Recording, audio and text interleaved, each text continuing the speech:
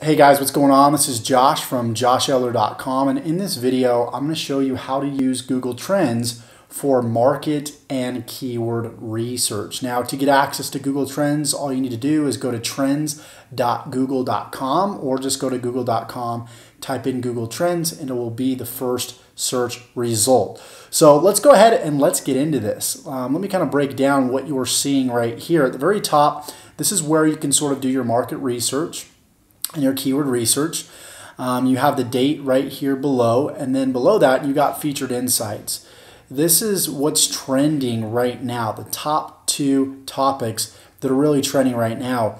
One would be March Madness 2017, and then you have immigration, and then you have the third one here, International Women's Day. And then you can scroll here and you can see other topics that are also trending right? So these are your featured insights right here. And then below this, you have stories that are trending right now. So you have everything from technology to politics to um, sports to uh, famous, you know, sports teams and uh, celebrities and things of that nature. And that just goes on and on and on. Um, and it looks like you have right around, if we just keep going down, you got easily over 100 different results, right, that are trending right now. So we can actually go to 104 right here and see the iPhone and see what's trending about the iPhone. So it looks like UK man electrocuted in bath while charging iPhone. so this is what's trending right now around the topic iPhone. Okay, so what we can do is we can go up here we can say, okay, let's see, I want to go in the weight loss market, right? And then as a subtopic, because you don't want to go so broad, right? You want to find um, something that's more targeted than just weight loss. So let's let's do a diet. So if we just type in diet, we'll have different topics based around diet. So you got not national diet, you got Paleolithic diet, you got vegetarianism, National Diet Library, so these are based around different search terms, topics, and categories. So we're going to click on Paleolithic diet. And then it's going to take us to a page and a graph that looks like this. This is the interest over time for the past five years. What we can do is we can change that to the past hour, past four hours, past day, seven days, so on and so forth. Since 2004 is what we can go back to. So pretty cool uh, statistics we have there. And then you can see the topic as it relates to the whole entire world and also as it relates to your country. So since we're in the United States, or I'm in the United States, we're going to go down to United States and I'm going to select United States. Let's see, right here. And then what you can do is you can jump over here to web search and you can see how it's trending on Google. This is basically Google Trends for Google search, right? So you can see that uh, based on a scale of 0 to 100, 100 being the most um, interested, um, people are you know raving about the topic, and then of course you got 25 and then 0 right here, which means you know no one's really talking about this topic. So it's probably a topic or a market that we don't want to go into, right? So you can see that every about January, this spikes up, right? And it looks like it went up a little bit here at the end of 2013, and then it's kind of gone back down as far as interest to where it was in uh, 2012. Right, so what we can also do is we can go and see how many people are actually typing in Paleolithic diet in the image search of Google, right? So if we go to Google Images right here and we type in, you know, Paleolithic diet, this will show the interest of how many people are typing in Paleolithic diet in the images section of Google, right? So you'll see that here. Now, since we're going to be marketing mostly on Google and YouTube, what I'll do, since I do most of my marketing on YouTube right now, is I'll see how this topic is trending on YouTube. Right, so back in 2012, it was right around 50%. Now in 2017, it's actually gone up quite a bit um, to right to over 50, between 50 and 60% right here. So that's pretty cool data that we have here. And then what we can do is we can go down and we can see the subregions, the states that this search term is trending in the most. So it looks like people from New Mexico are typing this search term into YouTube the most, right? And then we can switch it, of course, back to web search. We'll see if that's still New Mexico. Nope, it looks like it's Colorado. So if we're marketing, right, we're doing Google AdWords, we're ranking our websites in Google, then we'll know that if we want to specifically target an ad towards Colorado, if we're doing paid advertising with Google, then um, we're going to get the most exposure, right, for this keyword term in the state of Colorado. So we can tailor our ad to people that are within Colorado.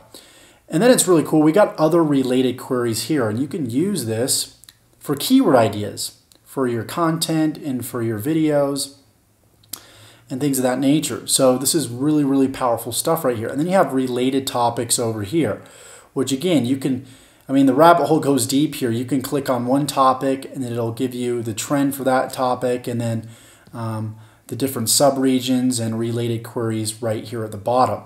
So pretty, pretty cool stuff that we've got here. So what I'm to do is I'm going to show you another, another example since I'm in the internet marketing niche and then a sub niche of that of course you've got you know e-commerce you've got affiliate marketing which is what i really focus on.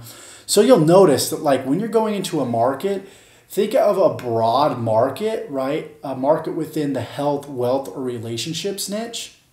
Pick that market and then pick a subtopic or a sub niche or niche, depending on where you live in the world.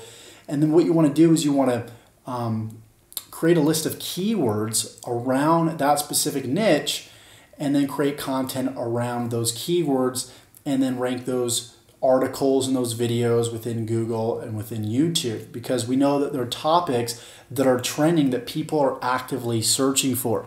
So I'm just going to go with affiliate marketing right here. Right? Search term or topic. And then we're going to see the interest over time for affiliate marketing within Google search. So people that are going to Google right here and they're typing in affiliate marketing,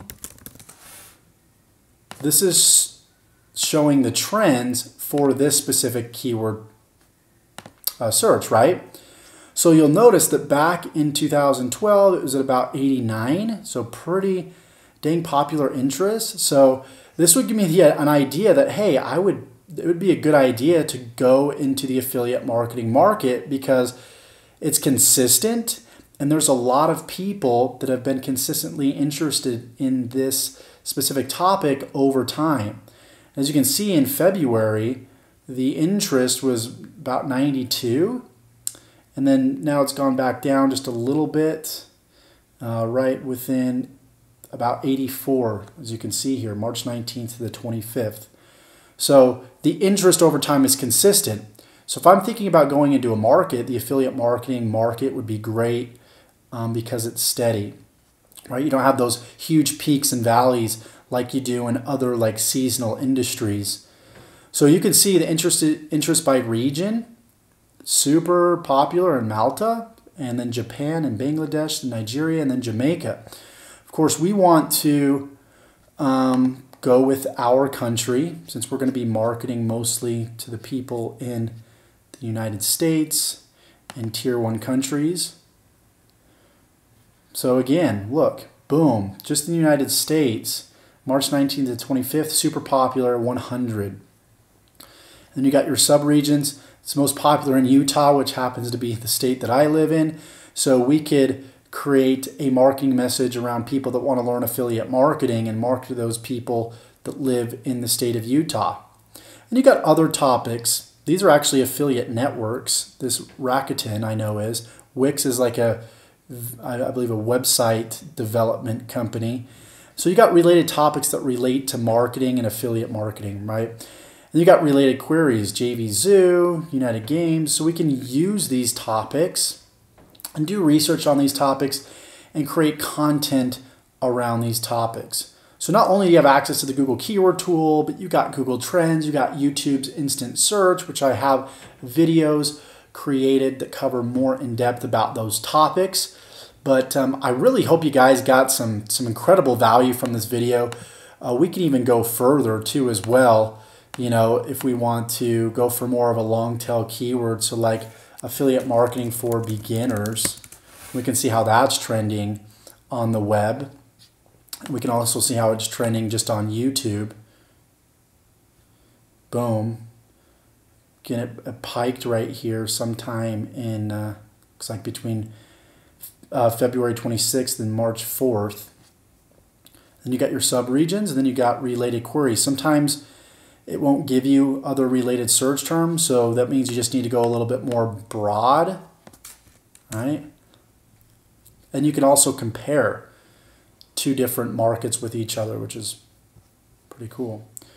So look, you got Amazon affiliate marketing, affiliate marketing tips for beginners, ClickBank affiliate marketing, and um, sometimes you'll just get a list of a bunch of different related topics that you could create content around. So it's all about starting broad and then drilling deep into one specific niche.